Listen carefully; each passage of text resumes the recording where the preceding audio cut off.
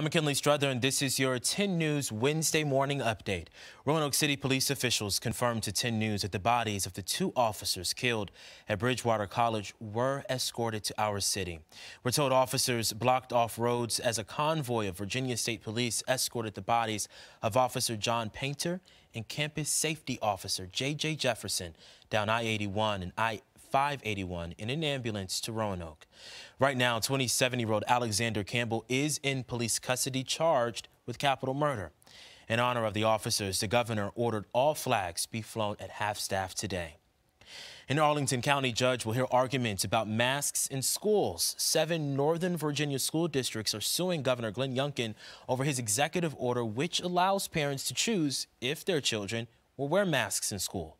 The school districts cite the Virginia Constitution and Senate Bill 1303, which mandates schools follow CDC guidance.